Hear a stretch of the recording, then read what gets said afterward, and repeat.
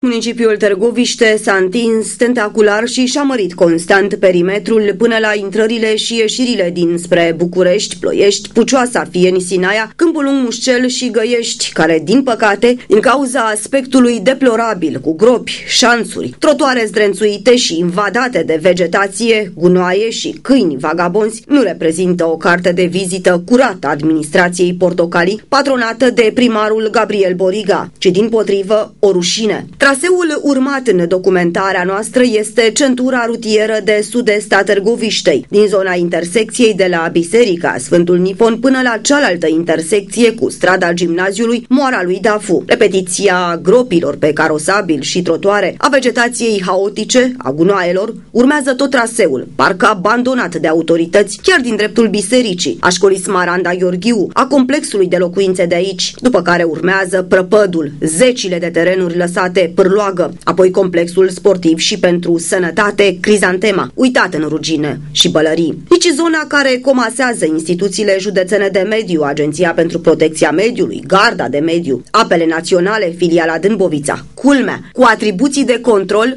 nu arată corespunzător. Pe finalul acestei rute, deloc norocoase, strada gimnaziului continuă aspectele copiate parcă la Indigo în zona Dafu, cuptorul de aur. Clădirile ruinate stau să cadă înconjurate de aceeași vegetație agresivă și gunoaie, completând un tablou urbanistic sumbru al administrației portocalii pe care trebuie să-l înghită toată populația Târgoviștei aflată în cea mai neagră perioadă a istoriei sale contemporane.